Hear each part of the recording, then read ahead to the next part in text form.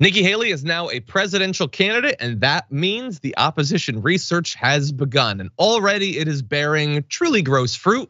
Here she is years ago being asked about things including the Confederacy and the Confederate flag you know, for those groups that come in and say they have issues with the Confederate flag, I will work to talk to them about it. I will work and talk to them about the heritage and how this is not something that is racist. This is something that is a tradition that people feel proud of, and let them know that we want their business in this state and that the flag where it is was a compromise of all people that everybody should um, accept as part of South Carolina.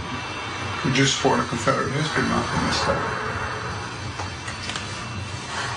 Um, I mean, yes, it's part of a traditional, you know, it's part of tradition. And so when you look at that, if you have the same as you have Black History Month and you have Confederate History Month and all of those, as long as it's done where um, it is in a positive way and not in a negative way, and it doesn't go to harm anyone, and it goes back to where it focuses on the traditions of um, the people that are wanting to celebrate it, then I think it's fine. Yeah, that's bad in a lot of different ways. Uh, so first of all, her arguing that it's it's just a tradition. It's not about hate. Either she doesn't know, or more likely, she doesn't care that waving the Confederate battle flag, if it had been a tradition from the Civil War to now, would be bad enough. But it's somehow worse.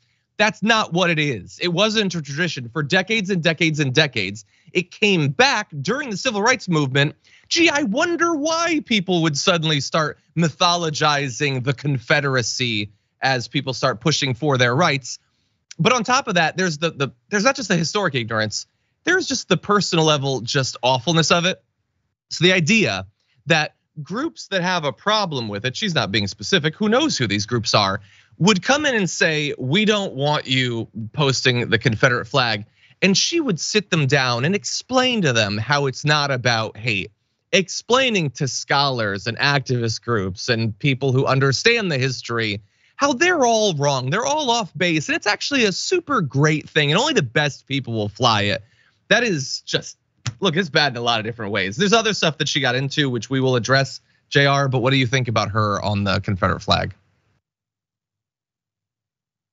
You might be uh, muted, Jayar which makes this a classic Big News Wednesday. I guarantee you, I clicked that button. I guarantee you. Still, yeah, you clicked uh, to mute yourself. This is this is one of those things where you ask, so what is the reason why that you know you bring this up? Her previous stances on the Confederacy and the Confederate flag and her support for it and all that. Outside of the obvious point of the disgusting nature of supporting uh, the folks who then flew that flag because they want to harken back to the good old days of enslavement and killing folks and maiming folks. And as you said, the comeback during the civil rights era because f those black people and the equality of rights. We still kind of have those conversations now. So which would allow us to believe that whether or not these folks, based off of support and advancement of her political career, if she's willing to go back to doing whatever it is and saying whatever she needs to say, endorse and support in order to advance her career. We already know she did that when she was in the Trump administration. Remember all the crazy things yeah. uh, that Trump was saying that she was very open to point out about Trump? Yeah, she did that too. It's un it's unbridled uh, advancement of your career. And now she's running for president. This is the ultimate, right? She's willing to do mm. anything. So if she's in office, who is she willing to listen to in order to continue to have some level of popularity? It doesn't matter who she's looking to represent, how horrible they are, or the stances that they take, or the history behind it, which we're trying to hide, as long as Nikki Haley's career is advanced. Yeah. What will that do for you, though? Yeah. Nothing, nothing, nothing. Yeah, look, there's a lot more that's going to come out from her. Um, but uh, leading into this campaign, I want to remind everyone she has been pitched to us as the reasonable one, the adult in the room. I mean, Ron DeSantis, he's the crazy culture warrior, and Donald Trump is, you know, his whole deal. No, she's more of an old school Republican, a very reasonable one. I mean, forget the fact that she served in the Trump administration for two years and was seemingly perfectly fine with all the stuff he did. Um, I have a pretty easy test to establish whether a person is honest and operates in good faith and intellectual honesty. And it's a question What was the cause of the Civil War? She was asked that question years ago, and here was her response. I think you had one side of the Civil War that was fighting for tradition, and one side of the Civil War that was fighting for change. Oh, that's fascinating. which which tradition? Texas style barbecue? Tailgating? Hanging a pickle ornament on your Christmas tree? Which tradition were they fighting to uphold? It's weird that you're being so vague about that. Do you not know? Are you not interested? Because I kind of feel like it was the one big one. I feel like it was the really bad tradition that they were fighting for. And I think that you're fully aware of that. Now, she was pressed on that and went on to say, at the end of the day, what I think we need to remember is that, you know, everyone's supposed to have their rights, everyone's supposed to be free, everyone's supposed to have the same freedoms as anyone else. So I think it was tradition versus change.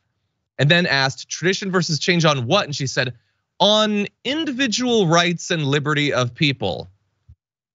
You mean like systemic hmm. slavery for centuries?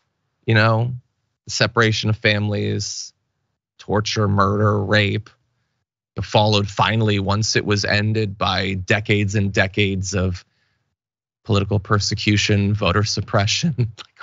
is that is that what you're hinting at, but not being willing to say? It's great that you think that we should all have rights in some sort of vague sense.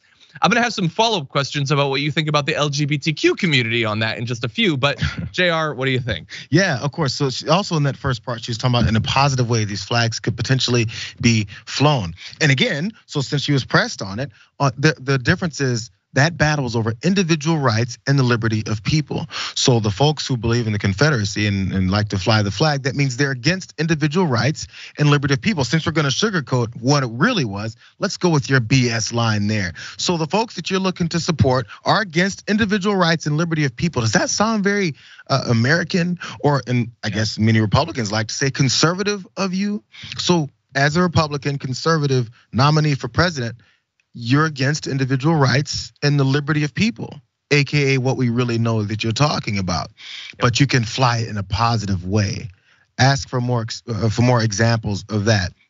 How does it get flown in a positive way? Can you fly a Nazi flag in a positive way? There's a, there was a tradition there of of wanting to uh, murder as many particular people as possible. Yeah. Matter of fact, they tried that similarly to how we tried it here, except we also had a financial backing behind that, a way to help yeah. build the company, the country's infrastructure and entire economic uh, uh, um, advancement here. We won't talk about all that stuff though. This goes back to the same thing over and over again. It's down happening in Florida, specifically with Ron DeSantis. If more people know the truth, they can ask more questions like, What are you talking about, Nikki? But if we keep people ignorant, they can then gloss over that line of individual rights and liberty of people and see it as that which is nothing, I guess, in their minds. Education always leads to more questions and challenges to people who like to lie to you, like her.